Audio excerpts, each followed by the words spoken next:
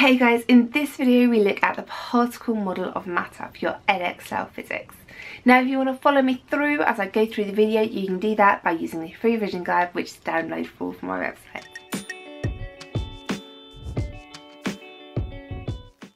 Solid particles are in a fixed position. They do vibrate, but very, very slightly, and it is around a fixed position. They do not move around. Liquid particles move around much more. They're still touching each other, but they are not in a fixed position. They are moving about randomly. It's still rather limited movement. It's still within a confined space. Unlike gas, which is free to move and zip around all over the place. If we're going to be putting energy in, then we are going to be turning a um, solid into a liquid or we are going to be evaporating a liquid into a gas. If energy is coming out of the system, a gas is going to be condensing or a liquid is going to be freezing. Density is the amount of mass in a set volume. So, mass in a set volume. And this is the same for the equation. And the equation for this is rho. I know it looks like a lowercase p, but it's not. It's a lowercase rho equals mass over volume. The units you need to know for this, mass is measured in kilograms, volume is measured in meters cubed, and density is measured in kilograms per meters cubed. Specific heat capacity is how much energy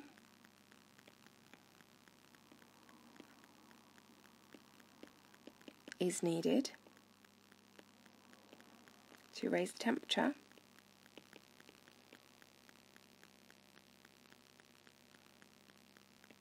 of one kilogram of a substance by one degree. Our equation for that is change in energy equals mass times specific heat capacity times change in temperature. Specific heat capacity is going to be particular to whatever substance they're talking about, and they would tell you this. I wouldn't expect them to expect you to know this. Our units for energy are joules, our units for mass kilograms. Our units of change in temperature are degrees C, and specific heat capacity is joules per kilogram degrees C. There is not an extra per in here, that is a space in there. Specific latent heat is how much energy is needed to change a substance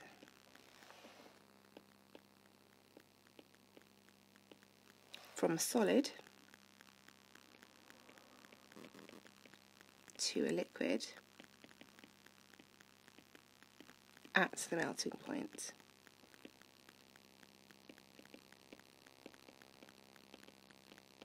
And remember, if a substance is pure, it will change instantly at one temperature. The equation for this is energy equals mass times specific latent heat. Our units for this are going to be joules for energy, mass is going to be measured in kilograms, and specific latent heat is joules per kilogram. When we're looking at the collection of molecules in a system and the amount of energy they have, we are going to have two bell-shaped curves. At low temperatures, there are going to be more molecules that have less energy and few molecules that have high energy. Now, if we say that this point here is where molecules have enough energy to evaporate, then only these ones at low temperature can evaporate. However, at high temperature, more molecules have more energy. So there are still going to be some with a low temperature, but the majority of them are now going to have a high temperature, meaning more of them are going to have passed this threshold for evaporation.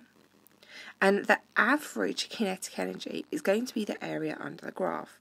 So as molecules evaporate, they're going to be leaving this section of the graph. So evaporation is actually going to lower the average kinetic energy of a system. In this video, I'm using a simulation from the Excellent PhET website. You can see here we have a closed container and I'm adding in gas here and we can see the pressure.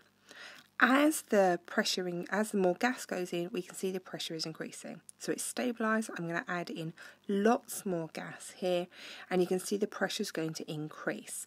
So as the gas bumps against the walls of the container, it's exerting um, a small force, it's doing work on there, and is going to be increasing the pressure in the system.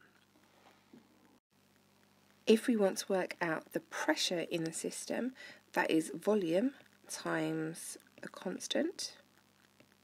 The constant you'll be told in the exam. Our units for pressure are pascals, our units for volume are meters cubed. Pressure 1 times volume 1 is going to be equal to pressure 2 times volume 2, where pressure is going to be measured in pascals and volume in meters cubed. You've probably heard of Celsius and Fahrenheit, well I'm going to add another one in Kelvin. At minus 273 degrees C, that is where we have 0 Kelvin. At 0 degrees C, we have 273 Kelvin, and at 100 degrees C, we have 373 Kelvin. To convert between Celsius and Kelvin, you just have to add on 273. 0 degrees Kelvin or minus 273 degrees Celsius is absolute zero, where there is none or so very little movement of particles in a solid that we cannot measure it.